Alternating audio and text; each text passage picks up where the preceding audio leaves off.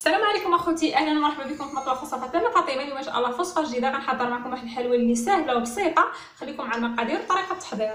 غنحتاج الكاس ديال السكر ما يعادل 125 غرام.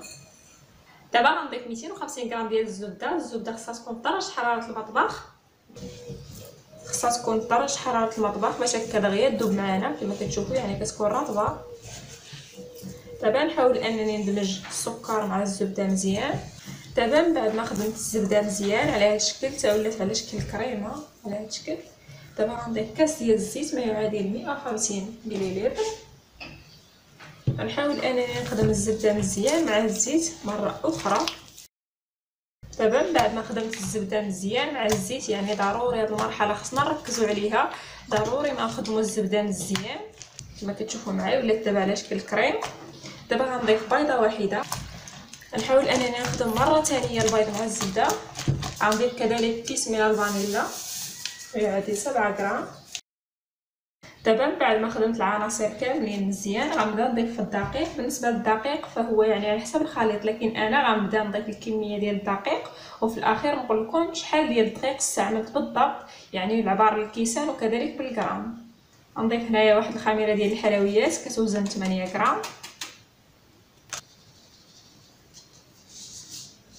دابا غنبدا نجمع العجين. بسم الله.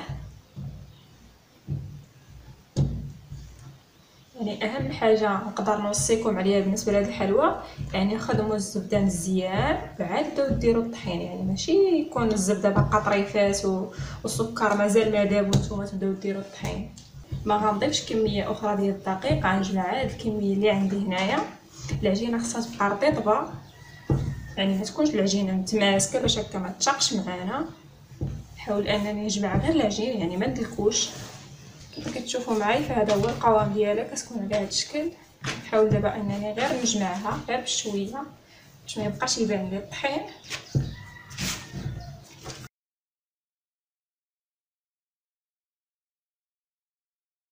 دابا كما كتشوفوا معايا فهذا هو القوام ديال العجينة. العجينة كتكون رطبة يعني ما كتكونش جارية بزاف. في نفس اللحظة ما كتكونش قاصحة باش هكايا العجينة ما تشققش معنا ملي نكونوا يعني كنسرحوا هذا. ضروري خصها تكون العجينة شوية رطبة. المهم بالنسبة للكمية ديال الدقيق اللي دخلت في هذه العجينة فهي 650 غرام. بالنسبة للناس اللي ما عندهمش الميزان فهي 6 ديال الكؤوس. الكؤوس اللي نكونوا كنعمروهم يعني ما نضغطوش عليهم بزاف. وفي الاخير كيبقى الدقيق على حسب الخليط يعني على حسب داك الدقيق اللي استعملتو نتوما واش كيمتص السوائل ولا لا وكذلك البيضة اللي استعملتو واش بيضة صغيرة ولا بيضة كبيرة. هذه المرحلة نحاول أنني نقسم العجينة ديالي على ثلاثة بالتساوي.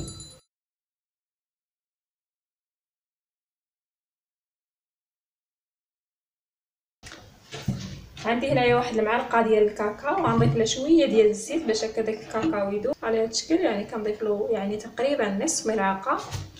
غنخلط هذا الكاكاو مزيان حتى يذوب دابا من بعد ما داب الكاكاو على هذا الشكل فأنا غربلته يعني عاد ضفت له الزيت فنسيت ما قلت لكمش من الأفضل كتستعملوا الكاكاو اللي يكون من نوع جيد باش الحلوة كتجي بنينه يعني دائما كنركز لكم على هاد الحوايج ضروري ما تستعملوا الكاكاو يكون زوين. نحاول أنني ندخل هذا الكاكاو مزيان في العجينه غير بشوية.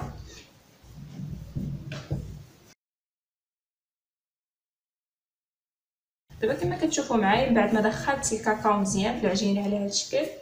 هكايا. نتوما هكايا إلا جاكم يعني اللون ماشي غامق زيدوا كمية أكثر ديال الكاكاو أنا كما كتشوفوا معايا يعني حصلت على العجينه قهوية لحقاش الكاكاو اللي استعملت يعني كان اللون ديالو بني. يعني ماشي بحال. دابا كما كتشوفوا معايا فأنا شكلت هنايا 10 ديال الكويرات من العجينة باللون الأسود 10 ديال الكويرات من العجينة اللي اللون ديالها ابيض وتبقات لي هنايا كويره واحدة كما شفتوا يعني في الأول يعني كنت قسمت العجينة على ثلاثة ديال الكويرات الكويره الأولى الكويره الثانية والكويره الثالثة. بالنسبة لهاد الكويره الثالثة فغنقسمها غير في النصف بهذا الشكل.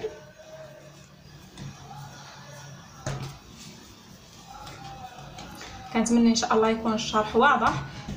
دابا غندوزو باش نشكلو الحلوى غنوضع هاد العجين في البلاستيك يعني جوج ديال الكويرات وهذه كذلك غنغطيها بالبلاستيك. وعاد غنبدأ نخدم معاكم باش هكا العجينة ما تروحش معانا. دابا في هذه المرحلة كما كتشوفوا معايا نحتاج لواحد الورق ديال الطبخ أو اللي يكون بلاستيك المهم خصنا ضروري شي حاجة نوضعوا عليها العجين. دابا غنبدأ نحرب العجينة البيضاء هي الأولى. خديت قطعة من العجينة البيضاء. غنبدأ نحربلها غير بشوية رخا في يدي.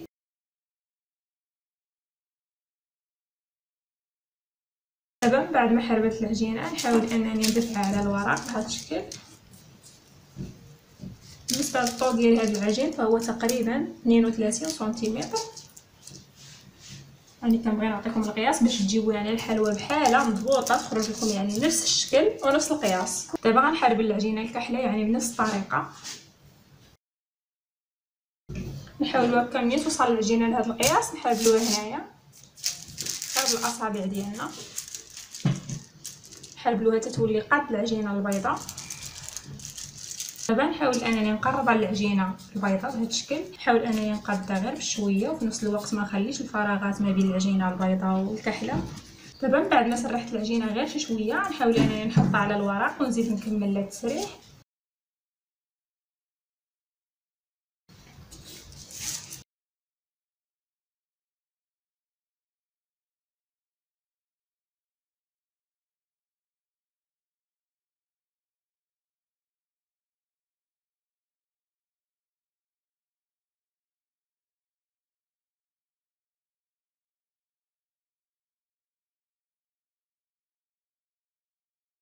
دابا من بعد ما حربت عشرة ديال الكويرات يعني واحد جوج ثلاثة أربعة خمسة ستة سبعة ثمانية تسعة عشرة. يعني عندي هنايا عشرة ديال القطع خمسة ديال القطع بيضين وكذلك خمسة ديال القطع كحلين بديت بالبيضة وساليت بالكحلة دابا هذه المرحلة نحتاج هذه الكويرة اللي كتكون كبيرة. غنحاول أنني نحربلها قد العجينة هذه يعني على قد الطول ديالها غير بشوية. نحاولوا نرخفوا اليد ديالنا.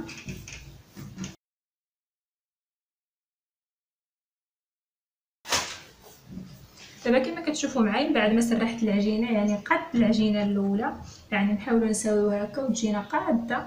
بهذا الشكل بس اللحظة تكون العجينه متساوية ما تكونش رقيقة من بلاصة وغليظة من بلاصة. بهذا الشكل دابا نحاول أنني نوضعها هنا بهذه الطريقة. نساويها مزيان. غنهز الورق ديال الطبخ. كما قلت لكم يمكن لكم تستعملوا البلاستيك ونحاول أنني نلف العجينه غير بشويه بهذا الشكل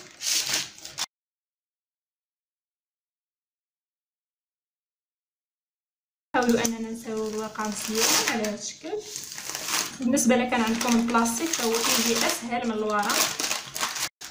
حاول أنني نتأكد بأن العجينه واصلة بهذا الشكل دابا غنلفها نحاول أنني نزير العجينه مزيان باش كنتاكد بأن ما كاينش الفراغات الداخل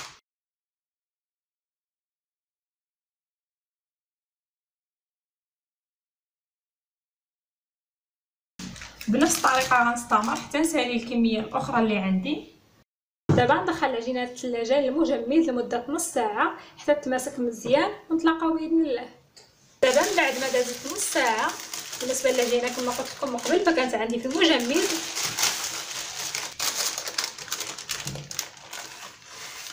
دابا ندوزو باش نقطعوها. بالنسبة للموس اللي غنقطعها به كما كتشوفوا معايا في الموس رقيق وخصو يكون الموس ماضي. بسم الله على بركة الله. كما قلت لكم خصنا نخليو الحلوة ديالنا حتى تدمج يعني تتلج.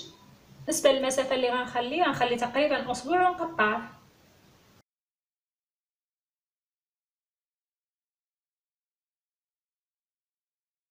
نشد الأصابع ديالي من هنا ونقطع نخلي أسبوع ونقطع نهبط السكين نيشان. بهذا الشكل هي بانت لي هكا يعني شوية ديال العجين بقى كيهبط نقادو غير بالاصبع ديالي بهذا الشكل. نخلي أسبوع.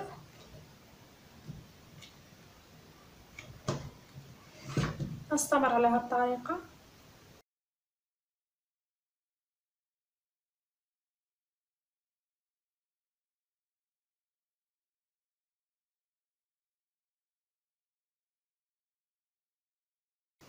كما كتشوفوا معايا العجينة ما كنديرهاش.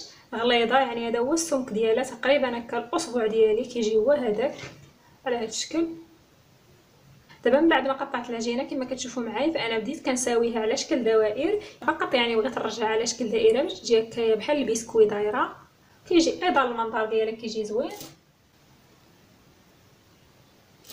غنستمر على هذه الطريقة نساوي العجينة كاملة.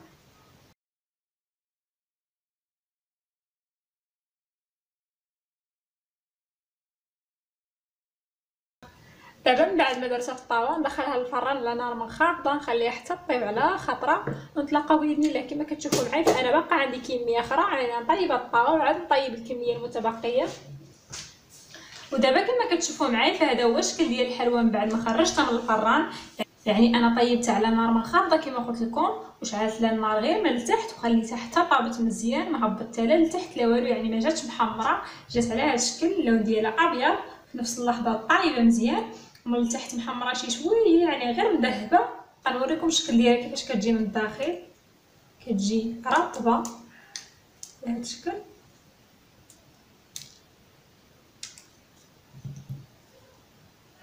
كتجي كتذوب في الفم. الصراحه كتجي واعره هشيشه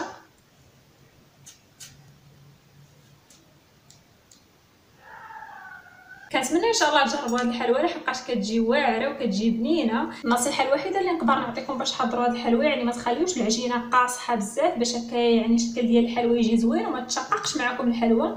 كذلك بالنسبة للطياب طيبوها على نار منخفضه باش ما تحمرش معكم تجي يعني غير مفندة يجي الشكل ديالها أبيض من الفوق وفي نفس اللحظة تكون طايبة مزيان من التحت يعني خصكم تحترموا القواعد ديال الطياب وكذلك استعملوا الكاكاو من النوع الجيد يعني ما تستعملوش الكاكاو ديال العبار لحقاش الكاكاو ديال العبار ماشي بنين يعني كيجيب الحلوى ما فيها حتى مذاق.